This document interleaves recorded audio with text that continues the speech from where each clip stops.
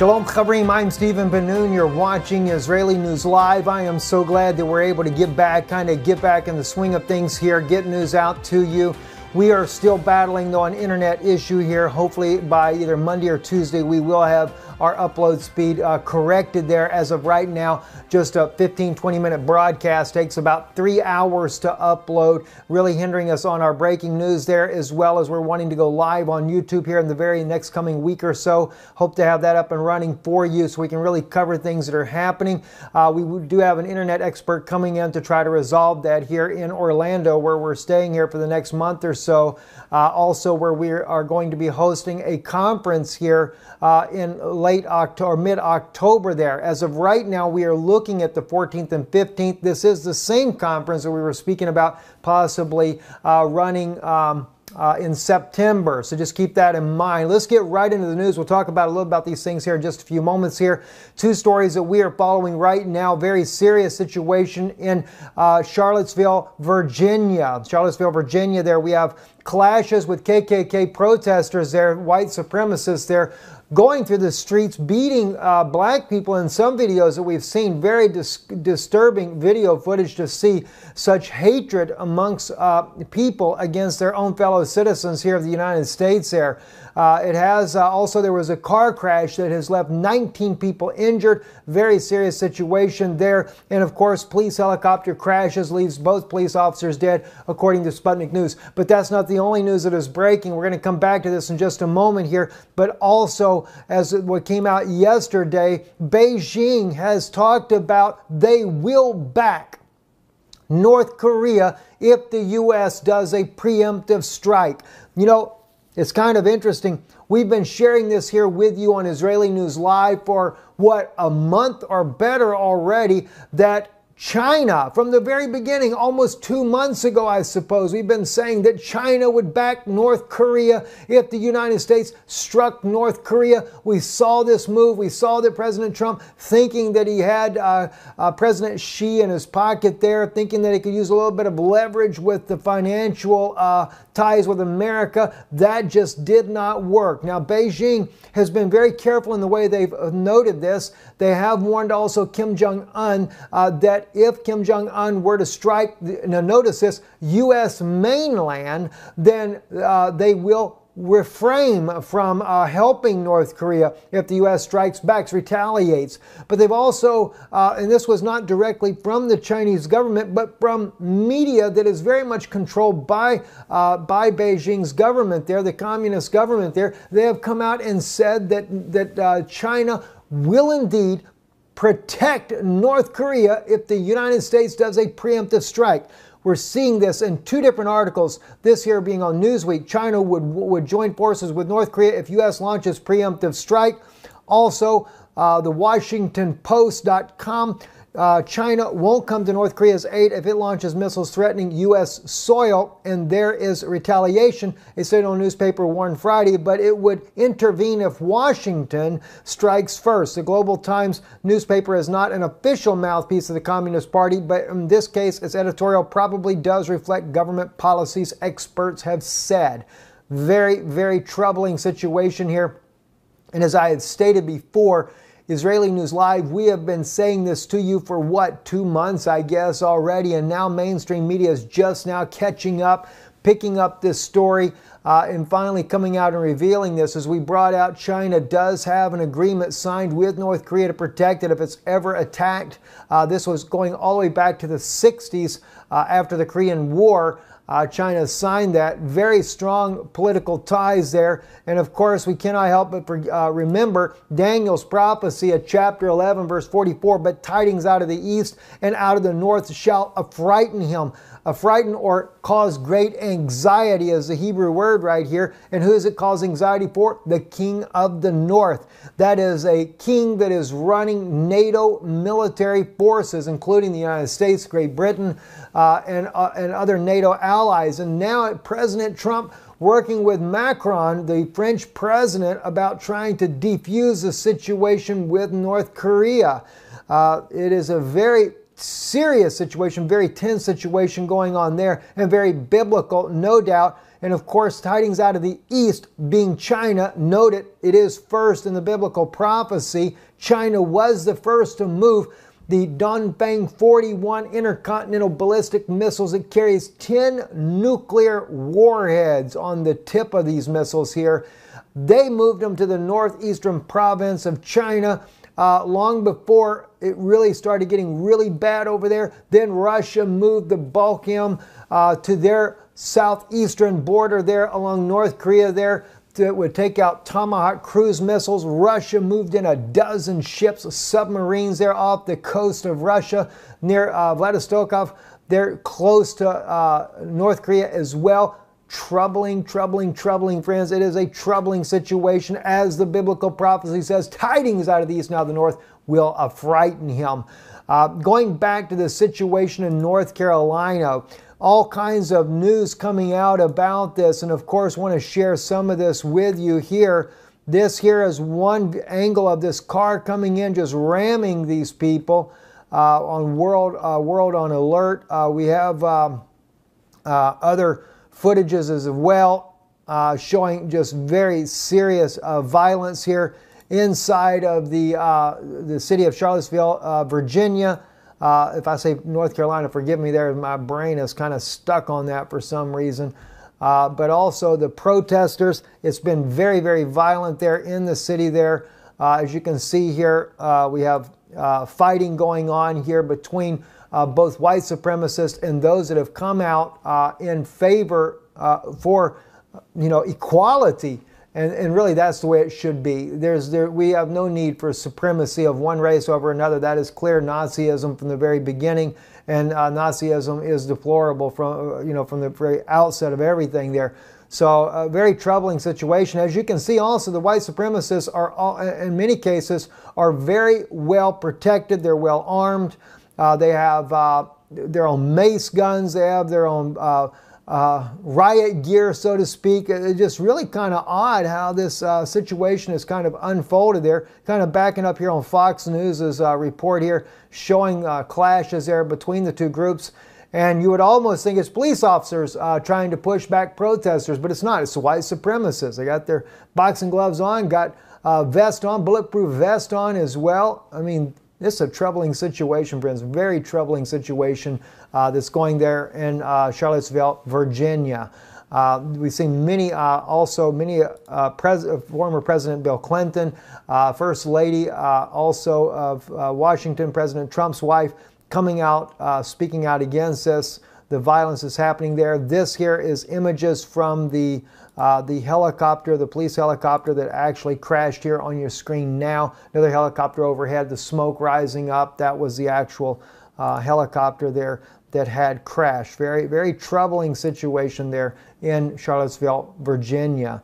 Uh, not to mention all the problems going on with North Korea. Will the United States actually strike first? Will the United States try to make it look like Pyongyang launches the first attack? In order to justify retaliation, hoping China doesn't uh, weigh in on this fight. Time will only tell.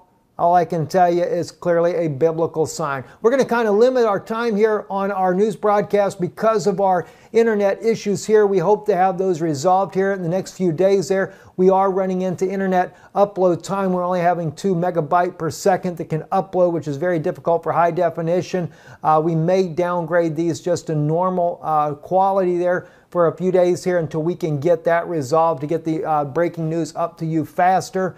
And also, just letting you know, we are still trying to rapidly put together this emergency prophetic geopolitical summit there. We have right now Dr. Steve Pidgeon, Paul Begley, myself, my wife as well, dealing with transhumanism, uh, all these different subjects of the situation that is happening in the world today coming together. We're going to reach out to L.A. Marzulli as well. Hopefully, he can come uh, and we will be doing this in Orlando. Tentatively, we are now looking at October the 14th and 15th, and we should have the details finalized by Wednesday this coming week. We hope to have that all finalized so that you can make plans if you want to be here definitely send us an email. Let us know if you'd like to be here at stephenbenoon at gmail.com. Love to hear from you about that.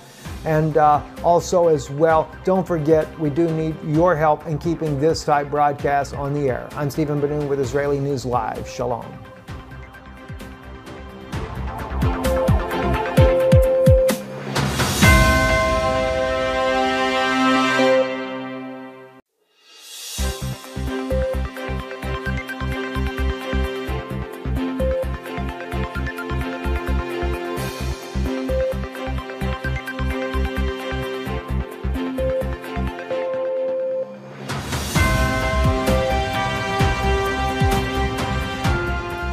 Shalom Chaverim, I'm Stephen Ben-Nun. You're watching Israeli News Live. I am so glad that we're able to get back, kind of get back in the swing of things here, get news out to you. We are still battling though an internet issue here. Hopefully by either Monday or Tuesday we will have our upload speed uh, corrected there. As of right now, just a 15, 20 minute broadcast takes about three hours to upload, really hindering us on our breaking news there, as well as we're wanting to go live on YouTube here in the very next coming week or so. Hope to have that up and running for you so we can really cover things that are happening. Uh, we do have an internet expert coming in to try to resolve that here in Orlando, where we're staying here for the next month or so. Uh, also, where we are going to be hosting a conference here uh, in late October, mid October there. As of right now, we are looking at the 14th and 15th. This is the same conference that we were speaking about possibly uh, running. Um, uh, in September. So just keep that in mind. Let's get right into the news. We'll talk about a little about these things here in just a few moments here. Two stories that we are following right now. Very serious situation in uh, Charlottesville, Virginia. Charlottesville, Virginia. There we have clashes with KKK protesters there, white supremacists there going through the streets beating uh, black people in some videos that we've seen. Very dis- disturbing video footage to see such hatred amongst uh, people against their own fellow citizens here of the united states there uh, it has uh, also, there was a car crash that has left 19 people injured. Very serious situation there. And of course, police helicopter crashes, leaves both police officers dead, according to Sputnik News. But that's not the only news that is breaking. We're going to come back to this in just a moment here. But also, as what came out yesterday, Beijing has talked about they will back North Korea if the U.S. does a preemptive strike. You know, it's kind of interesting. We've been sharing this here with you on Israeli News Live for what, a month or better already, that China, from the very beginning, almost two months ago, I suppose, we've been saying that China would back North Korea if the United States struck North Korea. We saw this move. We saw that President Trump thinking that he had uh, uh, President Xi in his pocket there, thinking that he could use a little bit of leverage with the financial uh, ties with America. That just did not work. Now, Beijing has been very careful in the way they've noted this. They have warned also Kim Jong un uh, that if Kim Jong un were to strike, now notice this, U.S. mainland, then uh, they will refrain from uh, helping North Korea if the U.S. strikes back, retaliates. But they've also, uh, and this was not directly from the Chinese government, but from media that is very much controlled by uh, by Beijing's government there, the communist government there. They have come out and said that that uh, China will indeed protect North Korea if the United States does a preemptive strike. We're seeing this in two different articles. This here being on Newsweek, China would would join forces with North Korea if U.S. launches preemptive strike.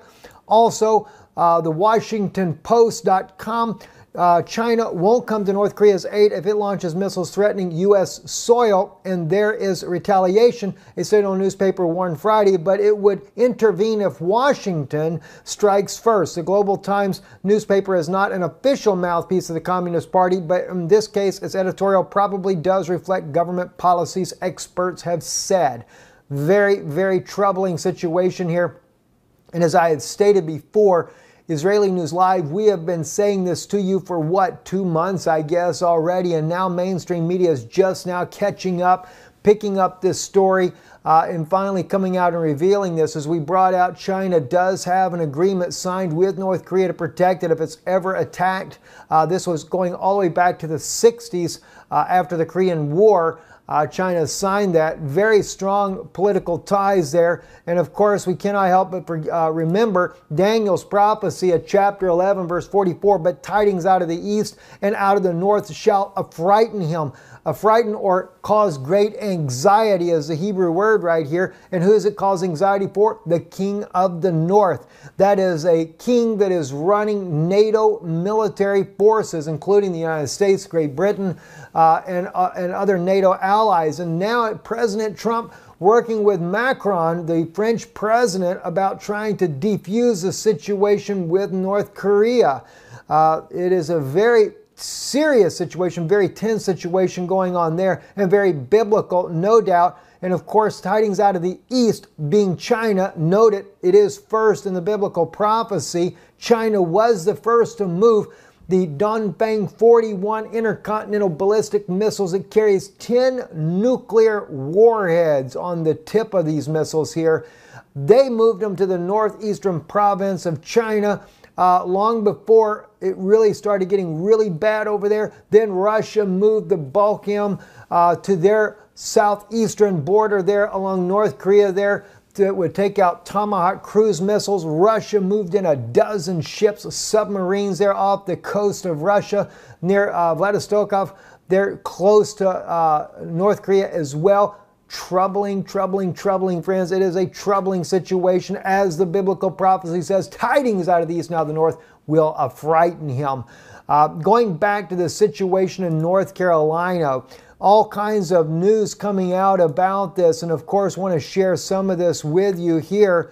This here is one angle of this car coming in, just ramming these people uh, on World uh, World on Alert. Uh, we have um, uh, other footages as well, uh, showing just very serious uh, violence here inside of the the city of Charlottesville, Virginia.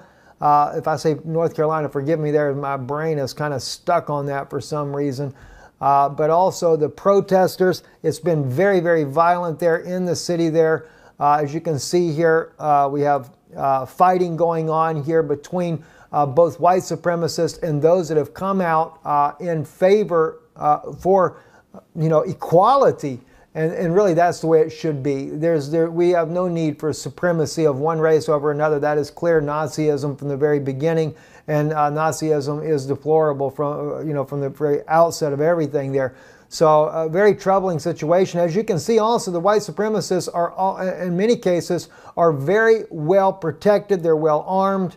Uh, they have uh, their own mace guns. They have their own uh, uh, riot gear, so to speak. It's just really kind of odd how this uh, situation is kind of unfolded there. Kind of backing up here on Fox News' uh, report here showing uh, clashes there between the two groups. And you would almost think it's police officers uh, trying to push back protesters, but it's not. It's white supremacists. They got their boxing gloves on, got uh, vest on, bulletproof vest on as well. I mean, this is a troubling situation, friends. Very troubling situation uh, that's going there in uh, Charlottesville, Virginia.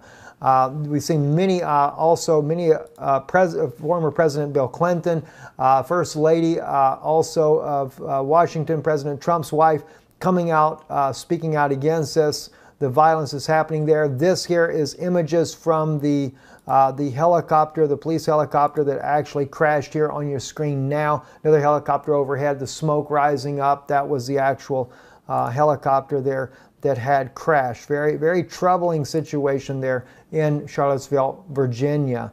Uh, not to mention all the problems going on with North Korea. Will the United States actually strike first? Will the United States try to make it look like Pyongyang launches the first attack? In order to justify retaliation, hoping China doesn't uh, weigh in on this fight. Time will only tell. All I can tell you is clearly a biblical sign. We're going to kind of limit our time here on our news broadcast because of our internet issues here. We hope to have those resolved here in the next few days there. We are running into internet upload time. We're only having two megabyte per second that can upload, which is very difficult for high definition. Uh, we may downgrade these just to normal uh, quality there for a few days here until we can get that resolved to get the uh, breaking news up to you faster. And also, just letting you know, we are still trying to rapidly put together this emergency prophetic geopolitical summit there. We have right now Dr. Steve Pidgeon, Paul Begley, myself, my wife as well, dealing with transhumanism, uh, all these different subjects of the situation that is happening in the world today coming together. We're going to reach out to L.A. Marzulli as well. Hopefully, he can come uh, and we will be doing this in Orlando. Tentatively, we are now looking at October the 14th and 15th, and we should have the details finalized by Wednesday this coming week. We hope to have that all finalized so that you can make plans if you want to be here definitely send us an email. Let us know if you'd like to be here at stephenbenoon at gmail.com. Love to hear from you about that. And uh, also, as well, don't forget, we do need your help in keeping this type broadcast on the air. I'm Stephen Ben-Nun with Israeli News Live. Shalom.